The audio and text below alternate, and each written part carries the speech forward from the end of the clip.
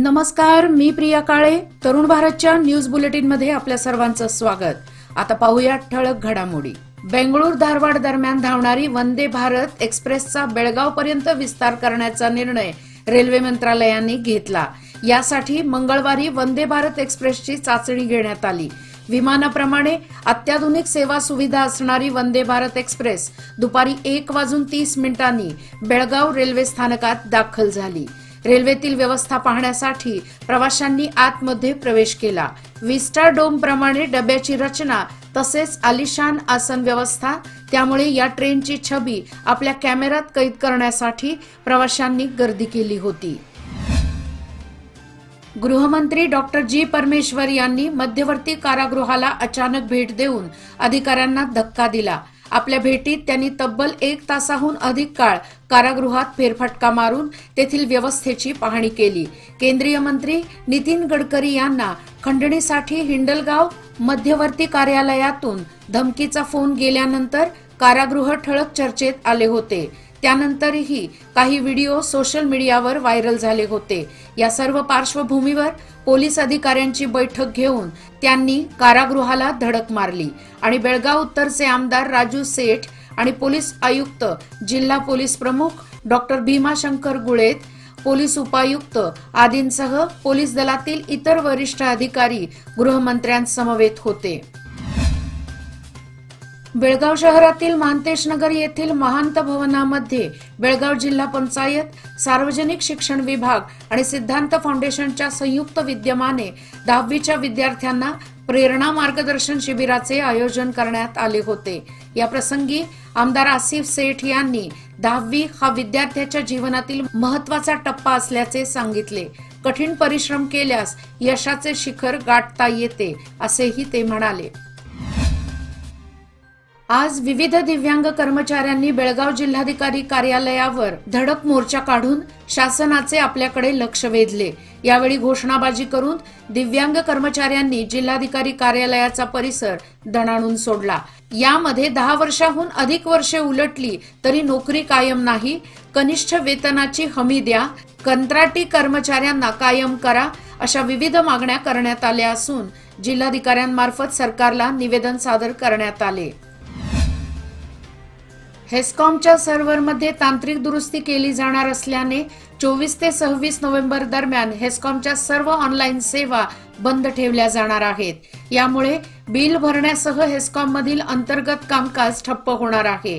त्यामुळे नागरिकांनी याची दखल घेत सोमवार नंतर बिल भरण्यासाठी हेस्कॉममध्ये यावे असे आवाहन करण्यात आले आहे.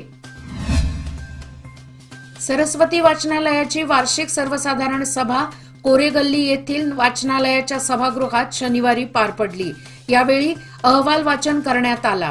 सर्व कार्यकारिणी व अनेक सदस्य उपस्थित होते. अध्यक्षा स्वरूपा इनामदार यांनी स्वागत करून वार्षिक कार्यक्रमाबद्दल माहिती दिली. कार्याध्यक्ष सुहास सांगलीकर यांनी वाचनालयाचा आढावा व पुढील वर्षाचे अंदाजपत्रक सादर केले. विजय देशपांडे यांनी खर्चाचा तपशील सांगितला. सर्व सभासदांनी वार्षिक अहवालास एकमताने मान्यता दिली. वाचनालयाच्या कामकाजाबद्दल समाधान व्यक्त करण्यात आले. सभा खेळीमेळीत पार पडली. पुढील वर्षी सरस्वती वाचनालयाचा शतकोत्तर सुवर्ण महोत्सव थाटामाटात साजरा करण्यात येणार आहे. कार्यवाह आर. एम. करडीगुद्दी यांनी आभार मानले.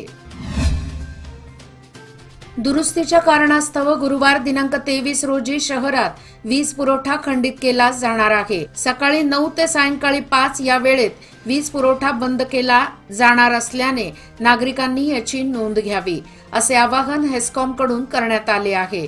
Shahapur Hulbatte colony Shastrinagar Tilakwadi Hindwadi camp Dharmaveer Sambhaji Chowk Gandhinagar Azad Nagar old PB road परिसरासह शहरातील बहुतांशी भागात वीज कपात केली जाणार आहे. खानापूर तालुक्यातील सांस्कृतिक परंपरा जोपासण्याचे काम गेली सत्तावीस वर्ष अव्याहतपणे माचीगड अनगडी येथील श्री सुब्रमण्यम साहित्य अकादमीने सुरू ठेवले आहे. आता हे साहित्य संमेलन गावापुरते मर्यादित न राहता जिल्ह्यासह महाराष्ट्रातही नावारूपाला आले आहे. असे प्रतिपादन अकादमीचे अध्यक्ष बाबूराव पाटील यांनी नुकत्याच झालेल्या बैठकीच्या अध्यक्षस्थानावरून केले. अकादमीचे कार्याध्यक्ष संजीव वाटुपकर यांनी प्रास्ताविक करून उपस्थितांचे स्वागत करत बैठकीचा उद्देश सांगितला. सचिव एम पी गिरी यांनी संमेलनाविषयी माहिती सांगितली.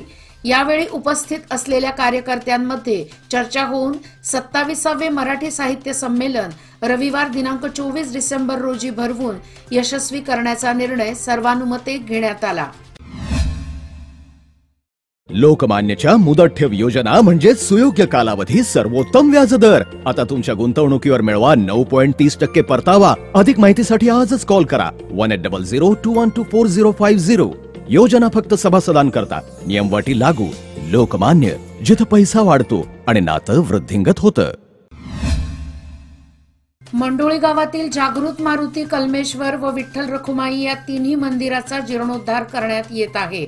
गावातील या मंदिराचा जीर्णोद्धार करण्यात येत असल्यामुळे नागरिकांमध्ये उत्साह निर्माण झाला आहे. या मंदिरांना चिकमंगळूर येथील दत्तात्रय मठाचे मठाधीश परमपूज्य अशोकजी शर्मा महाराज यांनी सोमवारी धावटी भेट दिली व मंदिराच्या जीर्णोद्धार कामाची पाहणी करून ग्रामस्थांना मार्गदर्शन केले. दुचाकीला वाचवताना ब्रेक लावल्याने रिक्षा पलटी होऊन तीन विद्यार्थी जखमी झाल्याची घटना बेळगाव तालुक्यातील मच्छे येथे घडली. याबद्दल समजलेली माहिती अशी की मच्छे खानापूर मार्गावर दुचाकी विरुद्ध दिशेने येत होती. त्याला वाचवण्यासाठी रिक्षा चालकाने ब्रेक लावला आणि रिक्षा पलटी झाली. ग्रामीण भागाच्या विकासासाठी प्रशासनामार्फत विविध योजना राबवल्या जातात. त्यातही प्रामुख्याने रस्त्यांचे डांबरीकरण व त्यांची दुरुस्ती करण्यासाठी सरकारकडून विशेष निधी मंजूर केला जातो.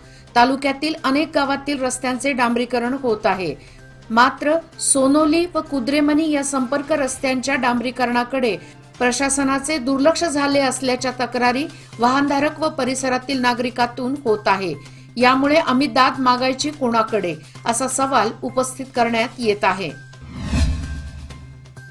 सौंदलगाव परिसरात सोयाबीन व भुईमूग काढणीनंतर साधारणपणे कांदा पिकाची लागवड करतात. सध्या पाण्याची उपलब्धता कमी असतानाही शेतकऱ्यांनी कांदा हे पीक घेण्यासाठी धडपड चालू केली आहे. पण काही ठिकाणी कांदा पिकावर बदलत्या हवामानामुळे कीड व रोगाचा प्रादुर्भाव वाढल्याने शेतकऱ्यांची चिंता वाढली आहे. या रोगराई बरोबरच वाढलेला उत्पादन खर्च आणि पाण्याची टंचाई भासण्याची चिन्हे याचा फटकाही उत्पादकांना बसत आहे. शहराला भेडसावणाऱ्या भीषण पाणी टंचाईवर तोडगा काढण्यासाठी चोवीस तास पाणी योजना सुरू होणे गरजेचे आहे. अशा परिस्थितीत नगर परिषदेने योग्य नियोजन करणे गरजेचे आहे. सध्या एक दिवसा आड पाणी पुरवठा केला जात असल्याने नागरिकातून चिंता व्यक्त होत आहे. अशा परिस्थितीत संकेश्वरकरांसाठी चोवीस तास पाणी पुरवठा योजना कार्यान्वित कधी होणार असा सवाल उपस्थित केला जात आहे. कुडची येथील कृष्णा नदीला सध्या मुबलक पाणीसाठा असून परिसरातून दुथडी भरून कृष्णामाई वाहत आहे. असे असले तरी यंदा पावसाने दिलेली दडी आणि आगामी काळात पाणी टंचाईची शक्यता लक्षात घेऊन उपलब्ध असलेले पाणी जपून वापरणे गरजेचे आहे. यासाठी प्रत्येकाने स्वतःपासून पाणी बचत करण्याला प्राधान्य देण्याची आवश्यकता आहे. जांबोटी ओलमणी परिसरात गेल्या आठ दिवसांपासून सुगीच्या कामांना वेग आला असून या परिसरातील शेतकरी वर्ग भात कापणी व भात मळणीच्या कामात गुंतले आहेत. तसेच ऊस तोडणीच्या कामाला देखील प्रारंभ झाल्यामुळे शेतवडीत सर्वत्र शेतवर्गाची एकच लगबग सुरू झाली आहे. यावर्षी जून महिन्यापासूनच या परिसरात अत्यल्प पावसाने हजेरी लावल्यामुळे दुष्काळाचे सावट गडद बनले होते. अधूनमधून पडणाऱ्या तुरळक पावसामुळे भात पिकांना जीवदान मिळाले असले तरी अपुऱ्या पावसामुळे भात पिकावर प्रतिकूल परिणाम होऊन भात पिकांची वाढ खुंटली होती. याचबरोबर आजचे बातमीपत्र इथेच संपले. अधिक माहिती आणि ताज्या घडामोडी करता पाहत रहा तरुण भारत न्यूज चॅनल. तसेच आमच्या चॅनलला लाईक शेअर आणि सबस्क्राईब करायला विसरू नका. आणि विश्वासार्ह बातम्यासाठी दररोज वाचा दैनिक तरुण भारत. धन्यवाद.